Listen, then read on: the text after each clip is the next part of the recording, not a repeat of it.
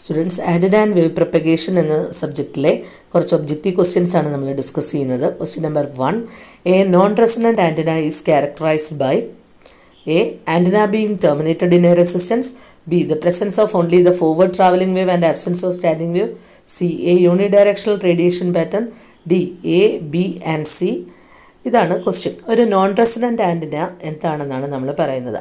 Non resident ആന്റിനയെ നമ്മൾ travelling wave antenna എന്ന് പറയാറുണ്ട്. എപ്പീരിയോഡിക് ആന്റിന എന്ന് പറയാറുണ്ട്. ഒരു നോൺ റെസിഡന്റ് ആന്റിനയുടെ ഒരു എൻഡിൽ നമ്മൾ എക്സൈറ്റേഷൻ കൊടുക്കും. മറ്റേ എൻഡ് ഒരു ക്യാരക്ടറിസ്റ്റിക് ഇമ്പിഡൻസ് വെച്ച് ടെർമിനേറ്റ് ചെയ്യും. ഈ ഇത് ഒരു നോൺ റെസിഡന്റ് ക്യാവിറ്റിയെ പോലെയാണ് ആക്ട് ചെയ്യുന്നത്. കാര്യം ഇതിനകത്ത് ഓൺലി ഫോർവേഡ് ഡയറക്ഷനിൽ മാത്രമാണ് വേവ് മൂവ് ചെയ്യുന്നത്. അപ്പോൾ ഇവിടെ റിഫ്ലക്റ്റഡ് വേവ് ഇല്ല. അതുകൊണ്ട് തന്നെ ഇതിനകത്ത് സ്റ്റാൻഡിങ് വേവ് എക്സിസ്റ്റ് ചെയ്യത്തില്ല. അപ്പോൾ ഇവിടെ ഒരു ഡയറക്ഷനിൽ മാത്രമാണ് വേവിന്റെ മൂവ്മെന്റ് അതുകൊണ്ട് തന്നെ ബാക്ക്വേർഡ് വേവ് ഇല്ല സ്റ്റാൻഡിങ് വേവ് എക്സിസ്റ്റ് ചെയ്യുന്നില്ല. യൂണി ഡയറക്ഷനിലായിട്ടുള്ള റേഡിയേഷൻ പാറ്റേൺ ആണ് അവിടെ കിട്ടുന്നത്. അതിന്റെ ബാൻഡ് വിഡ്ത്ത് വളരെ കൂടുതലായിരിക്കും. എക്സാമ്പിളായിട്ട് നമ്മൾ പഠിക്കുന്നത് ബിവറേജ് ആന്റിന കോമൺ ആയിട്ട് യൂസ് ചെയ്യുന്ന ഒരു non resident ആന്റിനയാണ് rhombic antenna rhombic antenna important ആണ്. റോംബിക് ആന്റിന ഒരു നോൺ റെസിഡന്റ് ആന്റിനയ്ക്ക് എക്സാമ്പിളാണ് നോൺ റെസിഡന്റ് ആന്റിനയുടെ റേഡിയേഷൻ പാറ്റേൺ യൂണി ഡയറക്ഷനിലാണ് ഒരു എന്റെ ക്യാരക്ടറിസ്റ്റിക് ഇമ്പിഡൻസ് വെച്ച് ടെർമിനേറ്റ് ചെയ്യുന്നുണ്ട്. സ്റ്റാൻഡിങ് വേവ് എക്സിസ്റ്റ് ചെയ്യത്തില്ല. ഇതിനകത്ത് ട്രാവലിംഗ് വേവ് ആന്റിനയാണിത് ഓക്കെ റേഡിയേഷൻ പാറ്റേൺ കാണിച്ചിട്ടുണ്ട്. ഒരു ആന്റിനയുടെ ടെർമിനൽ ക്യാരക്ടറിസ്റ്റിക് ഇമ്പിഡൻസ് വെച്ച് ടെർമിനേറ്റ് ചെയ്തത് കാണിച്ചിട്ടുണ്ട്. ഇനി എന്താണ് റെസിഡന്റ് ആന്റിന റെസിഡന്റ് ആന്റിനയെ നമ്മൾ പീരിയോഡിക് ആന്റിന എന്ന് പറയാറുണ്ട്. സ്റ്റാൻഡിങ് വേവ് ആന്റിന എന്ന് പറയാറുണ്ട്. എപ്പോഴും റെസിഡന്റ് ആന്റിനയുടെ ആന്റിന ലെങ്ത് എന്ന് പറയുന്നത് ലാംഡ ബൈ ടുവിന്റെ ലാംഡ ബൈ ഫോറിന്റെ മൾട്ടിപ്പിൾസ് ആയിരിക്കും. ആന്റിന ലെങ്ത് ലാംഡ ബൈ ടുവിന്റെ മൾട്ടിപ്പിൾസ് ആയിരിക്കും. അതുപോലെ തന്നെ അതിന്റെ ടെർമിനൽ ക്യാരക്ടറിസ്റ്റിക് ഇമ്പിഡൻസ് വെച്ച് ടെർമിനേറ്റ് ചെയ്യില്ല.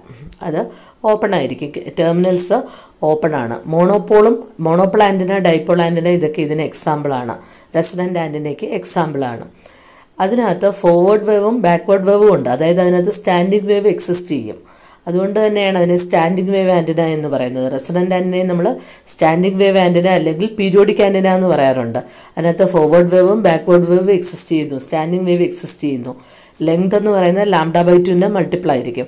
ക്യാരക്ടറിസ്റ്റിക് ഇമ്പിഡൻസ് അനുസരിച്ച് ടെർമിനേറ്റ് ചെയ്തിട്ടുണ്ടായിരിക്കും. ഏറ്റവും ഇമ്പോർട്ടന്റ് ആയിട്ടുള്ള പ്രോപ്പർട്ടി ഇത് ബൈ ഡയറക്ഷണലാണ് ഒരു ഡബ് ഒരു ഡബ്ലറ്റിന്റെ ഷേപ്പിലാണ് ഇതിന്റെ radiation pattern half a half a ഡൈപ്പോളിന്റെ കേസിൽ കിട്ടുന്നത്.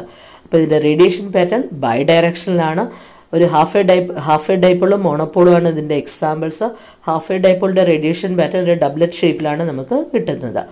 അപ്പോൾ ഇത്രയും കാര്യങ്ങളാണ്. റെസണന്റ് ആന്റിനെയും നോൺ റെസണന്റ് ആന്റിനെയും തമ്മിൽ കമ്പയർ ചെയ്യുമ്പോൾ നമ്മൾ ഓർക്കേണ്ടത് ഓർക്കേണ്ട ഏറ്റവും important non resident antenna uni ഡയറക്ഷനിലും resident antenna bi ഡയറക്ഷനിലുമാണ് റെസിഡന്റ് ആന്റിനയിൽ സ്റ്റാൻഡിങ് വേവ് ആന്റിനയാണ് നോൺ റെസിഡന്റ് ആന്റിന ഒരു ട്രാവലിംഗ് വേവ് ആന്റിനയാണ് ഇനി നമുക്ക് നമ്മുടെ ക്വസ്റ്റ്യൻസ് ശ്രദ്ധിക്കാം.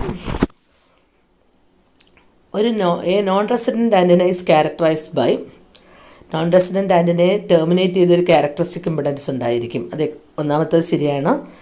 പാർട്ട് എ ശരിയാണ് അതിനകത്ത് ഫോർവേഡ് വേവ് ഉണ്ടായിരിക്കും. ട്രാവൽ സ്റ്റാൻഡിങ് വേവ് ഉണ്ടായിരിക്കില്ല. വേവ് മൂവ് ചെയ്യുന്നത് ഒരു ഡയറക്ഷനിലാണ് ഫോർവേഡ് ഡയറക്ഷനിലാണ് അപ്പോൾ രണ്ടാമത്തെ ചോയ്സ് ശരിയാണ്. ഒരു യൂണി ഡയറക്ഷണൽ റേഡിയേഷൻ പാറ്റേൺ ആയിരിക്കും. നോൺ റെസിഡന്റ് ആന്റിന യൂണി ഡയറക്ഷനിലാണ് ഫോർവേഡ് ഡയറക്ഷനിൽ മാത്രമേ വേവ് മൂവ് ചെയ്യുന്നുള്ളൂ. യൂണി ഡയറക്ഷനിലായിട്ടുള്ള റേഡിയേഷൻ പാറ്റേൺ ആണ്. അപ്പോൾ എയും ബിയും സിയും ശരിയാണ്. ചോയ്സ് ഡി എന്ന് പറയുന്നത് both A B and C ആണ്. അപ്പോൾ ചോയ്സ് ഡി ആണ് correct answer okay second question a resonant antenna is characterised by resonant antenna എന്ന് പറയുന്നത് സ്റ്റാൻഡിംഗ് വേവ് ആന്റിനയാണ് അപ്പോൾ പ്രസൻസ് ഓഫ് സ്റ്റാൻഡിംഗ് വേവ് ഒന്നാമത്തെ ചോയ്സ് ശരിയാണ്. Uni directional highly directional radiation pattern resonant antenna bi ഡയറക്ഷനിലാണ് forward വേവും backward വേവും ഉണ്ട്.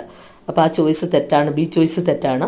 C choice bi directional radiation pattern അപ്പോൾ സി ചോയ്സ് ശരിയാണ്. Both A and C and correct അപ്പോൾ ചോയ്സ് ഡി ആണ് correct എയും സിയും കറക്റ്റ് ആൻസർ ആണ്. അപ്പോൾ ചോയ്സ് ഡി ആണ് കറക്റ്റ്. മൂന്നാമത്തെ question a resonant antenna is a system with zero standing wave ratio high standing ratio low standing wave ratio none of this resident antenna എന്ന് പറയുന്നത് standing wave ആന്റനയാണ് അതിനകത്ത് standing wave exist ചെയ്യുന്നുണ്ട്. അതുകൊണ്ട് തന്നെ അതിന്റെ standing wave ratio high ആയിരിക്കും. അപ്പോൾ very high standing wave ratio ആണ് കറക്റ്റ് ആൻസർ അടുത്ത ക്വസ്റ്റ്യൻ നമുക്ക് ഡിസ്കസ് ചെയ്യാം. Most of the man made noise as circular polarisation horizontal polarisation vertical polarisation elliptical polarisation അപ്പോൾ manmade noise most of the manmade noise എന്ത് തരം polarisation ആണെന്നാണ്. Man-made noise vertical പോളറൈസേഷനുള്ള man-made നോയ്സും ഉണ്ട് ഹൊറിസോണ്ടൽ പോളറൈസേഷനിലുള്ളതുണ്ട് പക്ഷെ മെജോറിറ്റി അതായത് മോസ്റ്റ് ഓഫ് ദി മാൻമെയ്ഡ് നോയ്സുകൾ വെർട്ടിക്കൽ പോളറൈസേഷനാണ് അപ്പോൾ വെർട്ടിക്കലി പോളറൈസ്ഡ് ആയിട്ട് പോളറൈസ്ഡ് ആയിട്ടുള്ള മാൻമെയ്ഡ് നോയ്സിന് ലോങ്ങർ ഡിസ്റ്റൻസ് കവർ ചെയ്യാൻ പറ്റും. ഹൊറിസോണ്ടലി പോളറൈസ്ഡ് ആയിട്ടുള്ള മാൻമെയ്ഡ് നോയ്സിനേക്കാൾ വെർട്ടിക്കലി പോളറൈസ്ഡ് ആയിട്ടുള്ള മാൻമെയ്ഡ് നോയ്സിന് കൂടുതൽ ഡിസ്റ്റൻസ് കവർ ചെയ്യാൻ പറ്റും. അപ്പോൾ ക്യാപ്ചർ ഏരിയ എന്ന് പറയുന്നത് വെർട്ടിക്കലി പോളറൈസ്ഡ് മാൻമെയ്ഡ് നോയ്സിന് കൂടുതലാണ്. അപ്പം മെജോറിറ്റി മാൻമെയ്ഡ് നോയ്സുകളും വെർട്ടിക്കലി പോളറൈസ്ഡ് മാൻമെയ്ഡ് നോയ്സുകളാണ്. അടുത്ത question parabolic and lens antennas are exclusively used for short wave microwave medium frequency wave all the all of the above microwave frequency റേഞ്ചിൽ use ചെയ്യുന്ന antennas ഏതൊക്കെയാണെന്ന് നമുക്ക് അറിഞ്ഞിരിക്കണം ഏറ്റവും ഇമ്പോർട്ടന്റ് ആയിട്ടുള്ള ഒരു ആന്റനയാണ് ഡിഷ് ആന്റന. അതിനെ പാരാബോളിക് ഡിഷ് ആന്റന എന്നാണ് പറയുന്നത്.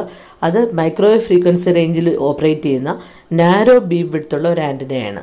മൈക്രോവേവ് ഫ്രീക്വൻസി റേഞ്ചിൽ യൂസ് ചെയ്യുന്ന നാരോ ബീം വിടുത്തുള്ള ഒരു ആന്റനയാണ് പാരാബോളിക് ഡിഷ് ആന്റന. അത് പരാബോളിക് ഡിഷ് ആന്റനയിൽ തന്നെ റിഫ്ലക്ടർ ആന്റന അതിലൊരു റിഫ്ലക്ടർ ആന്റന ഉണ്ട്. അതിൽ പരാബോളിക് റിഫ്ലക്ടറാണ് അതിനകത്ത് യൂസ് ചെയ്യുന്നത്. അതുകൊണ്ടാണ് അതിനെ റിഫ്ലക്ടർ ആന്റന എന്ന് പറയുന്നത്. അതിന് ഗെയിൻ വളരെ കൂടുതലായിരിക്കും. പക്ഷേ ബീം വിട്ട് എന്ന് പറയുന്നത് വളരെ ചെറുതായിരിക്കും. വളരെ നാരോ ആയിട്ടുള്ള ബീം വിട്ടായിരിക്കും അത് ലോ ഫ്രീക്വൻസി ആപ്ലിക്കേഷന് യൂസ് ചെയ്യാൻ പറ്റത്തില്ല. കാര്യം because of its larger size അത് മൈക്രോവേവ് ഫ്രീക്വൻസിയിലാണ് യൂസ് ചെയ്യുന്നത്. അപ്പോൾ സൈസ് വളരെ കൂടുതലായിരിക്കും ബീം അതായത് ഒരു ചെറിയൊരു ഏരിയയിലൂടെ ആയിരിക്കും ഇത് ട്രാൻസ്മിറ്റ് ചെയ്യുന്ന ബീം വിഡ്ത്ത് വളരെ കുറവായിരിക്കും. ഹൈ ഗെയിൻ ആയിരിക്കും. നല്ല ഗെയിൻ കൂടുതലായിരിക്കും. അപ്പോൾ മൈക്രോവേവ് ഫ്രീക്വൻസി റേഞ്ചിൽ യൂസ് ചെയ്യുന്ന ആന്റനാസ് പഠിക്കുമ്പോൾ പാരാബോളിക് ഡിഷ് ആന്റന വളരെ ഇമ്പോർട്ടന്റ് ആണ്. അതിൽ തന്നെ പാരാബോളിക് റിഫ്ലക്ടർ റിഫ്ലക്ടർ വളരെ ഇമ്പോർട്ടന്റ് ആണ്. പിന്നെ ഒരു എക്സാമ്പിളാണ് മൈക്രോസ്ട്രിപ്പ് ആന്റിന ഒരു മൈക്രോ ഫ്രീക്വൻസി റേഞ്ചിൽ യൂസ് ചെയ്യുന്ന ഇമ്പോർട്ടന്റ് ആയിട്ടുള്ള ഒരു ആന്റനയാണ് ഹോൺ ആന്റിന ഹോൺ നമ്മുടെ ഹോൺ ഷേപ്പിലുള്ള ആന്റിന അതൊരു parabolic reflector sorry microwave frequency ആന്റിനയാണ് lens antenna ഒരു മൈക്രോവേവ് ഫ്രീക്വൻസി ആന്റിനയാണ് അപ്പോൾ മൈക്രോവേവ് ഫ്രീക്വൻസി റേഞ്ചിൽ ഉപയോഗിക്കുന്നതിന് എക്സാമ്പിളായിട്ട് നമുക്ക് പാരാബോളിക് ഡിഷ് പറയാം. ഹോൺ ആന്റിന പറയാം ലെൻസ് ആന്റിന പറയാം മൈക്രോസ്ട്രിപ്പ് ആന്റിന പറയാം. ഞാൻ ഓരോ ആന്റിനായിട്ട് ചെറിയ കുറച്ചൊരു നോട്ട്സ് പറയാം. പാരാബോളിക് ആന്റിന എന്ന് പറയുമ്പം അതിനകത്ത് ഒരു പാരാബോളിക് റിഫ്ലക്ടറാണ് യൂസ് ചെയ്യുന്നത്. ഒരു കർവ്ഡ് സർഫസാണ് അതിനകത്ത് യൂസ് ചെയ്യുന്നത്. അതിന്റെ ഡിഷിന്റെ ഷേപ്പിലാണ് അതിനകത്തുള്ളത്. അതുകൊണ്ട് തന്നെ അതിനെ പാരാബോളിക് ഡിഷ് ആന്റിന എന്നാണ് പറയുന്നത്. അതിന്റെ ഗെയിൻ വളരെ കൂടുതലാണ്. അതായത് ഹൈ ഡയറക്ടിവിറ്റി അല്ലെങ്കിൽ ഹൈ ഡയറക്റ്റ് മാക്സിമം ഡയറക്റ്റീവ് ഗെയിനെയാണ് ഡയറക്റ്റിവിറ്റി എന്ന് പറയുന്നത്. ഹൈ ഡയറക്ടിവിറ്റിയാണ് അത് ഹൈ ഗെയിൻ ആന്റിനയാണ് അതായത് റേഡിയോ ടെലസ്കോപ്പിലും പോയിന്റ് ടു പോയിന്റ് കമ്മ്യൂണിക്കേഷനിലും റഡാറിൽ ബീം വിഡ്ത്ത് വളരെ കുറവാണ്.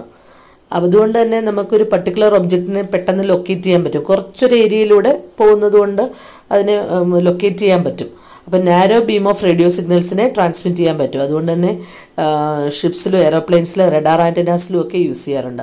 അപ്പോൾ ഇമ്പോർട്ടന്റ് പോയിന്റ് ഇത്രയേ ഉള്ളൂ. പാരാബോളിക് ആന്റിന ഒരു മൈക്രോ ഫ്രീക്വൻസി റേഞ്ചിലുള്ള ആന്റിനയാണ് വളരെ ഹൈ ഗെയിനുള്ള നാരോ ബീം വിട്ടുള്ള ഒരു ആന്റിനയാണ് ഡയറക്ടിവിറ്റിയാണ് അതിന്റെ ഹൈ ഡയറക്ടിവിറ്റിയാണ് അതിന്റെ മെയിൻ അഡ്വാന്റേജ് എന്ന് പറയുന്നത്. Radar point to point communication radio കമ്മ്യൂണിക്കേഷനിലെല്ലാം use ചെയ്യുന്ന ഒരു ആന്റിനയാണ് പാരാബോളിക് ആന്റിന എന്ന് പറയുന്നത്. മൈക്രോസ്ട്രിപ്പ് ആന്റിനയെ നമ്മൾ പാച്ച് ആന്റിന എന്ന് പറയും. ഒരു ഇതിനകത്ത് കണ്ടോ? ഒരു ഗ്രൗണ്ട് പ്ലെയിനിനകത്ത് ഒരു മെറ്റാലിക് പാച്ചാണ് ഒട്ടിച്ചിരിക്കുകയാണ് ഒരു മൈക്രോസ്ട്രിപ്പ് പാച്ച് ആന്റിനയ്ക്കകത്ത് ഒരു റേഡിയേറ്റിംഗ് പാച്ച് ഒട്ടിച്ചിരിക്കുകയാണ്. ഒരു ഗ്രൗണ്ട് പ്ലെയിൻ ഉണ്ട് റേഡിയേറ്റിംഗ് പാച്ച് ഉണ്ട്. അതിന് രണ്ടിനും ഇടയിലായിട്ടൊരു ഡയലക്ട്രിക് ഉണ്ട്. അപ്പോൾ പാച്ച് ഏത് ഷേപ്പിൽ വേണം? വെള്ളെണ്ണമെങ്കിലും ആകാം. റെക്റ്റാങ്കുലർ ഷേപ്പ് ആകാം circular shape circular ring shape ആകാം. അങ്ങനെ ഒരു മെറ്റാലിക് പാച്ച് അല്ലെങ്കിൽ ഒരു റേഡിയേറ്റിംഗ് പാച്ച് ഗ്രൗണ്ട് പ്ലെയിനിന് മുകളിലായിട്ട് ഫാബ്രിക്കേറ്റ് ചെയ്തിരിക്കുകയാണ്. അപ്പോൾ ആ പാച്ചിന്റെ ഷേപ്പിനനുസരിച്ച് ഇത് ഇതിന്റെ പേര് വ്യത്യാസപ്പെടാം. അതുകൊണ്ട് തന്നെ ഈ മൈക്രോസ്ട്രിപ്പ് ആന്റിനെ നമ്മൾ പാച്ച് ആന്റിനെ എന്ന് പറയാറുണ്ട്. ഇത് മൈക്രോവേവ് ഫ്രീക്വൻസി റേഞ്ചിൽ യൂസ് ചെയ്യുന്ന ഒരു ആന്റിനയാണ് അപ്പോൾ ഇതിന്റെ ഏറ്റവും വലിയ അഡ്വാന്റേജ് എന്ന് പറയുന്നത് ഇത് സാധാരണയായിട്ട് സ്പേസ് ക്രാഫ്റ്റിലൊക്കെ യൂസ് ചെയ്യാറുണ്ട്. കാര്യം പോർട്ടബിൾ ആയിട്ടുള്ള ഒരു ആന്റിനയാണ് അതുകൊണ്ട് തന്നെ ഇത് സ്പേസ് ക്രാഫ്റ്റിൽ ഉപയോഗിക്കാറുണ്ട്. Less weight low volume low fabrication cost അതുപോലെ തന്നെ മൗണ്ട് ചെയ്യാൻ എളുപ്പമാണ്. കുറച്ച് സ്പേസ് മാത്രം മതി. അതുകൊണ്ട് തന്നെ മൈക്രോസ്ട്രിപ്പ് ആന്റിന പാച്ച് അല്ലെങ്കിൽ പാച്ച് ആന്റിന സ്പേസ് ക്രാഫ്റ്റിലും ഒക്കെ യൂസ് ചെയ്യുന്ന ആന്റിനയാണ് അപ്പോൾ ഇതിനകത്തൊരു metallic pouch sorry metallic patch ground plane മുകളിലായിട്ട് ഫാബ്രിക്കേറ്റ് ചെയ്തിരിക്കുകയാണ്. ഇതിന് രണ്ടിനും ഇടയിൽ ഒരു ഡയലക്ട്രിക് പ്ലേസ് ചെയ്തിട്ടുണ്ട്. അങ്ങനെയാണ് അപ്പോൾ ഈ പാച്ചിന്റെ ഷേപ്പ് മനസ് മാറുന്നതിനനുസരിച്ച് ഇതിന്റെ പിന്നെ റെക്ടാങ്കുലർ മൈക്രോസ്റ്റ് പാന്റിന സർക്കുലർ മൈക്രോസ്റ്റ് പാന്റിന എന്നൊക്കെ പറയാറുണ്ട്. ഇതൊരു മൈക്രോ ഫ്രീക്വൻസി റേഞ്ചിൽ യൂസ് ചെയ്യുന്ന ആന്റിനയാണ് പിന്നെ നമ്മൾ പറയുന്ന ഒരു ആന്റിന മൈക്രോവേവ് ആന്റിനയ്ക്ക് എക്സാമ്പിളാണ് ഹോൺ ആന്റിന അപ്പോൾ അതിന് ഒരു ഫ്ലെയർഡ് ഔട്ട് വേവ് ഗൈഡിനെയാണ് അതായത് ഓപ്പൺഡ് ആയിട്ടുള്ള ഒരു വേവ് ഗൈഡിനെയാണ് നമ്മൾ എന്തെന്ന് പറയുന്നത്? ഹോൺ ആന്റിന എന്ന് പറയുന്നത്. ഹോണിന്റെ ഷേപ്പ് ആയിരിക്കും. അപ്പോൾ ഇതിനകത്തൊരു വേവ് ഗൈഡ് ഉണ്ടായിരിക്കും. അതിന്റെ എൻവോൾസ് ഫ്ലെയർഡ് ഫ്ലെയർഡ് ആയിട്ട് ഔട്ട്സ് ഒരു മെഗാഫോൺ പോലെ ഉണ്ടായിരിക്കും. അപ്പോൾ ഹോണിനെ നമുക്ക് പറയാം it is a flared out wave guide എന്ന് പറയാൻ പറ്റും. ഇത് വളരെ ഹൈ ഫ്രീക്വൻസിയിൽ മൈക്രോവേവ് ഫ്രീക്വൻസിയിൽ യൂസ് ചെയ്യുന്ന ഒരു ആന്റിനയാണ് സാധാരണയായിട്ട് ആന്റിന പാരാമീറ്റേഴ്സ് എല്ലാം വേറൊരു ആന്റിന റെഫറൻസ് ആന്റിനയായിട്ട് കമ്പയർ ചെയ്താണ് നമ്മൾ പാരാമീറ്റേഴ്സ് പറയുന്നത്.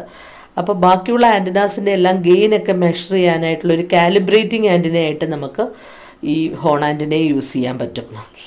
അപ്പോൾ ഇതിനകത്ത് ഹോൺ ആന്റിനയുടെ അഡ്വാന്റേജ് എന്ന് വെച്ചാൽ directivity low standing wave ratio broad bandwidth broad bandwidth ആണ് ഗെയിൻ എന്ന് പറയുന്നത് ട്വന്റി ഫൈവ് ഡി ബി അപ്പോൾ ഇതിനകത്ത് ഞാൻ ഇതിനകത്ത് ഒന്ന് രണ്ട് ഇക്വേഷൻ എഴുതിയിട്ടുണ്ട്. ഹോൺ ആന്റിനയുടെ ഡയറക്ടിവിറ്റിയുടെ ഇക്വേഷനാണ് കുറച്ചൊരു അഡ്വാൻസ്ഡ് ആയിട്ട് എക്സാം എഴുതുന്നവർക്ക് യൂസ്ഫുൾ ആയിരിക്കും. Seven point five effective area by lambda square seven point five effective area by lambda square power gain എന്ന് പറയുന്നത് four point five effective area by lambda square ആണ്. അപ്പോൾ ഹോൺ ആന്റിന ജസ്റ്റ് ഇത്രയും അറിയാം. പ്രധാനപ്പെട്ടത് ഒരു മൈക്രോവേവ് ഫ്രീക്വൻസി റേഞ്ചിൽ ഉപയോഗിക്കുന്ന ആന്റിനയാണ് ഇത് ഒരു ഫ്ലെയ്ഡ് ഔട്ട് വേവ് ഗൈഡാണ് ഇത് കാലിബ്രേറ്റിംഗ് ആൻഡ് അതായത് ആന്റിന ഗെയിൻ മെഷർ ചെയ്യുന്ന ബാക്കിയുള്ള ആന്റിനാസിന്റെ ഗെയിൻ മെഷർ ചെയ്യുന്നതിന് ഉപയോഗിക്കുന്ന ഒരു കാലിബ്രേറ്റിംഗ് ആന്റിനയായിട്ട് നമ്മൾ യൂസ് ചെയ്യാറുണ്ട്. ഇതിനകത്ത് പലതരത്തിലുള്ള ഫ്ലേ ഫ്ലെയറിംഗ് നടത്താം. അതായത് ഇലക്ട്രിക് ഫീൽഡിന്റെയും മാഗ്നറ്റിക് ഫീൽഡിന്റെയും ഡയറക്ഷനിൽ ഫ്ലെയറിംഗ് നടത്തുവാണ്. അങ്ങനെയാണെങ്കിൽ ആ ആന്റിനയെ നമ്മൾ പിരമിഡൽ ഹോൺ എന്നാണ് പറയുന്നത്. പിരമിഡൽ ഹോൺ ആന്റിന എന്നാണ് പറയുന്നത്. അതായത് flaring is done along both E and H direction E and H plane then it is called pyramidal horn അങ്ങനെ ഹോൺ ആന്റിന പല ഷേപ്പിലുള്ള ഹോൺ ആന്റിനാസ് പോസിബിളാണ് അപ്പോൾ നമ്മുടെ ക്വസ്റ്റ്യൻ ശ്രദ്ധിച്ചോളൂ. Parabolic and lens antennas are used in the microwave frequency range അടുത്ത question helical antenna produces radiation which is circularly polarized omni direction either of the above none of the above അപ്പോൾ helical ആന്റിനയുടെ radiation എന്ന് പറയുന്നത് circularly polarised ആണ്. Helical antenna is a circularly radial polarized radiation circular helical antenna have a circularly polarized radiation അപ്പോൾ helical ആന്റിനെ കുറിച്ച് നമുക്ക് discuss ചെയ്യാം. ഹെലിക്കൽ ആന്റിന എന്ന് പറയുന്നത് ഒരു വയർ ആന്റിനയ്ക്ക് എക്സാമ്പിളാണ് അതിനകത്ത് വയർ ഒരു ഹെലിക്സിന്റെ രൂപത്തിൽ വൗണ്ട് ചെയ്തിരിക്കുകയാണ്. അപ്പോൾ helical antenna is a wire antenna and here the conducting wire is mounted in the shape of a helix അപ്പോൾ ഏറ്റവും ഇമ്പോർട്ടന്റ് ആയിട്ടുള്ള ഒരു കാര്യം എന്ന് വെച്ചാൽ ഇത് വളരെ വെരി ഹൈ ഫ്രീക്വൻസി അല്ലെങ്കിൽ അൾട്രാ ഹൈ ഫ്രീക്വൻസിയിൽ ഓപ്പറേറ്റ് ചെയ്യുന്ന ഒരു ആന്റനയാണ് സർക്കുലർ പോളറൈസേഷനാണ് പ്രൊവൈഡ് ചെയ്യുന്നത്. ഇനി ഇതിനകത്ത് ചോദിക്കാവുന്ന ഒരു ക്വസ്റ്റ്യൻ ഹെലിക്സിന്റെ ഓപ്പറേറ്റിംഗ് മോഡ്സുകളാണ് രണ്ട് മോഡിൽ ഇത് ഓപ്പറേറ്റ് ചെയ്യാൻ പറ്റും. നോർമൽ മോഡിലും ആക്സിയൽ മോഡിലും നോർമൽ മോഡിനെ നമ്മൾ പെർപ്പൻഡിക്കുലർ മോഡ് എന്ന് പറയാറുണ്ട്. പക്ഷേ നോർമൽ മോഡ് നമ്മൾ കോമൺ ആയിട്ട് യൂസ് ചെയ്യാറില്ല. ആക്സിയൽ മോഡിനെ നമ്മൾ എൻഫയർ മോഡെന്ന് പറയാറുണ്ട്. അല്ലെങ്കിൽ പാരലൽ മോഡെന്ന് പറയാറുണ്ട്. അപ്പം നോർമൽ മോഡ് അല്ലെങ്കിൽ പെർപ്പൻഡിക്കുലർ മോഡ് എന്താണെന്നാണ് നമ്മൾ ആദ്യം പറയുന്നത്. അപ്പോൾ ഇവിടെ റേഡിയേഷൻ എന്ന് പറയുന്നത് സർക്കുലർലി പോളറൈസേഷൻ പോളറൈസ്ഡ് ആണ്. അപ്പോൾ ഈ നോർമൽ മോഡിൽ ഡയമെൻഷൻ ഹെലിക്സിന്റെ ഡയമെൻഷൻ വളരെ ചെറുതായിരിക്കും. വേവ് ലെങ്ത്തുമായിട്ട് കമ്പയർ ചെയ്യുമ്പോൾ ഹെലിക്സിന്റെ ഡയമെൻഷൻസ് വളരെ ചെറുതായിരിക്കും. ഈ മോഡിന്റെ ഏറ്റവും വലിയ ഡ്രോബാക്ക് എന്ന് പറയുന്നത് അതിന്റെ എഫിഷ്യൻസി വളരെ കുറവാണ്. നാരോ ബാൻഡ് ആണ്. അതുകൊണ്ട് തന്നെ അത് വളരെ കുറവായിട്ടാണ് യൂസ് ചെയ്യുന്നത്. എഫിഷ്യൻസി കുറവാണ്. ബാൻഡ് വിഡ്ത്ത് വളരെ കുറവാണ്. അതുകൊണ്ട് തന്നെ നോർമൽ മോഡ് കോമൺ ആയിട്ട് നമ്മൾ അങ്ങനെ യൂസ് ചെയ്യാറില്ല നോർമൽ മോഡിൽ ആന്റിന ഡയമെൻഷൻ എന്ന് പറയുന്ന ലാംഡയെ വെച്ച് നോക്കുമ്പോൾ അതായത് വേവ് ലെങ്ത് വേവ് ലെങ്തിനെ കമ്പയർ ചെയ്യുമ്പോൾ വളരെ ചെറുതായിരിക്കും. ആക്സിയൽ മോഡ് അല്ലെങ്കിൽ നോർമൽ മോഡിൽ വേറൊരു ഇമ്പോർട്ടന്റ് ആയിട്ടുള്ള ഒരു കാര്യമുണ്ട്. ഇതിനകത്ത് റേഡിയേഷൻ പാറ്റേൺ എന്ന് പറയുന്നത് മാക്സിമം റേഡിയേഷൻ എന്ന് പറയുന്നത് ആന്റിന ആക്സസിന് പെർപ്പൻഡിക്കുലർ ആയിരിക്കും. ആന്റിന ആക്സസ് ചെയ്ത ഡയറക്ഷനാണോ അതിന്റെ പെർപ്പൻഡിക്കുലർ ഡയറക്ഷനിലാണ് മാക്സിമം റേഡിയേഷൻ വരുന്നത്. അടുത്ത മോഡിനെ നമ്മൾ ആക്സിയൽ മോഡ് അല്ലെങ്കിൽ എൻഫയർ മോഡ് എന്നാണ് പറയുന്നത്. അവിടെ ആന്റിന ആക്സസിന് പാരലായിട്ടാണ് മാക്സിമം റേഡിയേഷൻ വരുന്നത്. ആന്റിനയുടെ ആക്സസ് ഇപ്പോൾ എക്സ് ഡയറക്ഷനിലാണെങ്കിൽ മാക്സിമം റേഡിയേഷൻ ഉണ്ടാകുന്നതും ആ ഡയറക്ഷനിൽ തന്നെ ആയിരിക്കും ആ മോഡിനെയാണ് നമ്മൾ ആക്സിയൽ മോഡെന്ന് പറയുന്നത്. ഓക്കെ. അപ്പോൾ ആ മോഡിൽ ഡയമെൻഷൻസ് കുറച്ചുകൂടി വലുതായിരിക്കും. ആ മോഡാണ് കോമൺ ആയിട്ട് നമ്മൾ യൂസ് ചെയ്യുന്നത്. അപ്പോൾ ആ മോഡിനെ എൻഫയർ മോഡെന്ന് പറയാൻ കാരണം അത് തന്നെയാണ്. മാക്സിമം റേഡിയേഷന്റെ ഡയറക്ഷനിൽ തന്നെ ആന്റിന ആക്സിസിന്റെ ഡയറക്ഷനിൽ തന്നെ മാക്സിമം റേഡിയേഷൻ വരുന്നു. അപ്പം maximum radiation is along the direction of antenna axis അപ്പോൾ പെർപ്പൻഡിക്കുലർ ആണെങ്കിൽ അതിനെ നോർമൽ മോഡെന്നും പാരലൽ ആണെങ്കിൽ അതിനെ ആക്സിൽ മോഡ് പറയുന്നത്. ആക്സിൽ മോഡാണ് നമ്മൾ കോമൺ ആയിട്ട് യൂസ് ചെയ്യുന്നത്. ഇനി ഹെലിക്കൽ ആന്റിനയുടെ കേസിൽ ആന്റിന പാരാമീറ്റർ ഒരു വളരെ ഇമ്പോർട്ടന്റ് ആയിട്ടുള്ളൊരു കാര്യമാണ്. അവിടെ pitch angle pitch angle important ആണ്. Pitch angle equal to tan inverse S by pi D എന്നുള്ളതാണ്. Tan inverse S by pi D S എന്ന് പറയുന്നത് സ്പേസിംഗ് ആണ്. രണ്ട് ടേണുകൾക്കിടയിൽ ഹെലിക്സ് വയർ ടേൺ ചെയ്ത് ഹെലിക്കൽ ഷേപ്പിൽ അറേഞ്ച് ചെയ്തിരിക്കുന്നത്. അങ്ങനെ രണ്ട് ടേണുകൾക്കിടയിലുള്ള സ്പേസിങ്ങിനെയാണ് എസ് എന്ന് പറയുന്നത്. ഡി എന്ന് പറയുന്നത് ആ ഹെലിക്സിന്റെ ഡയമീറ്ററിനെയാണ് ആൽഫയാണ് പിച്ച് ആംഗിൾ അപ്പോൾ alpha is equal to tan inverse S by pi D ആണ്. എസ് എന്ന് പറയുന്നത് spacing between two turns and D is the circumference D is the sorry diameter of the helix ആണ്. അപ്പോൾ ഹെലിക്കൽ ആന്റിന സാധാരണയായിട്ട് circularly polarised ആണ്. അത് സാധാരണയായിട്ട് use ചെയ്യുന്ന വെരി ഹൈ ഫ്രീക്വൻസിയിലും അൾട്രാ ഹൈ ഫ്രീക്വൻസിയിലും നമ്മൾ ഹെലിക്കൽ ആന്റിന യൂസ് ചെയ്യാറുണ്ട്. നമ്മുടെ ആറാമത്തെ ക്വസ്റ്റിന്റെ answer helical antenna produces radiation which is circularly polarised അടുത്ത ക്വസ്റ്റ്യൻ ഏഴാമത്തെ question what is the nature of radiation pattern of an isotropic antenna answer spherical definite elliptical hyperbolic answer spherical ആണ്. അപ്പോൾ എന്താണ് high isotropic antenna എന്നാണ്. ഒരു isotropic antenna എന്ന് പറയുന്നത് ഒരു ഹൈപ്പോത്തറ്റിക്കൽ ആന്റിനയാണ് ഒരു ലോസ്ലെസ് റേഡിയേറ്റർ ആണ്. അതായത് ഇത് ഈക്വൽ ഇന്റൻസിറ്റിയിൽ എല്ലാ ഡയറക്ഷനിലും ഒരേപോലെ റേഡിയേറ്റ് ചെയ്യുന്ന ഒരു ഐഡിയൽ ആന്റിനയാണ് നമ്മൾ ഐസോട്രോപ്പിക് ആന്റിന എന്ന് പറയുന്നത്. അതൊരു റെഫറൻസ് ആന്റിനയാണ് ആന്റിനയുടെ പാരാമീറ്റർ മെഷർ ചെയ്യാനുള്ള ഒരു റെഫറൻസ് ആന്റനയാണ് നമ്മൾ ഐസോട്രോപ്പിക് ആന്റന എന്ന് പറയുന്നത്. അതൊരു ലോസ്ലെസ് റേഡിയേറ്ററാണ് ഐഡിയൽ ആന്റനയാണ് അതിന് ലോസ് ഇല്ല. റേഡിയേഷൻ ലോസ് ഇല്ല. അതൊരു ഹൈപ്പോത്തറ്റിക്കൽ ആന്റനയാണ് അത് ഈക്വൽ ഡയറക്ഷൻ ഈക്വൽ ഇന്റൻസിറ്റിയിൽ എല്ലാ ഡയറക്ഷനിലും ഒരുപോലെ റേഡിയേറ്റ് ചെയ്യുന്നത് കൊണ്ട് തന്നെ ഇതിന്റെ റേഡിയേഷൻ പാറ്റേൺ എന്ന് പറയുന്നത് സ്ഫെറിക്കൽ ആയിരിക്കും.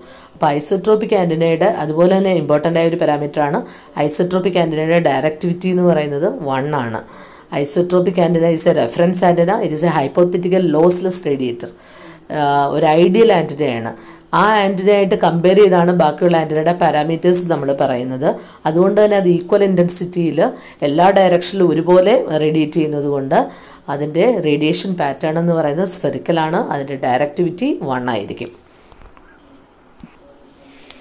അടുത്ത ക്വസ്റ്റ്യൻ എന്ന് പറയുന്നത് ഒരു പ്രോബ്ലമാണ് for a twenty hertz twenty turn helical antenna operating at 3 gigahertz, 3 gigahertz with a circumference 10 cm and the spacing between the turn is 0.3 lambda. Calculate the directivity. ഒരു helical ആന്റിനയുടെ പാരാമീറ്റേഴ്സുകളാണ് പറയുന്നത്. അതിന്റെ ഡയറക്ടിവിറ്റി കണ്ടുപിടിക്കാനാണ്.